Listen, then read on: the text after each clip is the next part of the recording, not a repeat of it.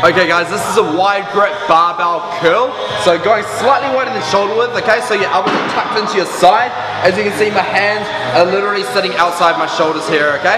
Now what I want you to do, position yourself in a nice strong position. Glutes are squeezed, core is tight, okay? Because I don't want you during the movement, okay? To hyperextend through, okay? So always straight up. If you do need to swing, okay? The swing is slightly forward and we're controlling up, okay? To straight, that's all the swing is, okay? Literally that micro movement, okay?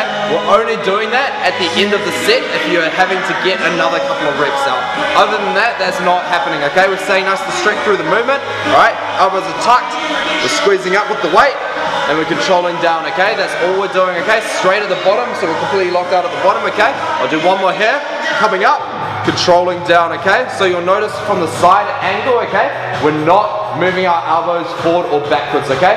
So nice and strong up, alright? Squeezing that bicep at the top, okay? So squeezing those hands towards your shoulders without the elbow moving forward, okay?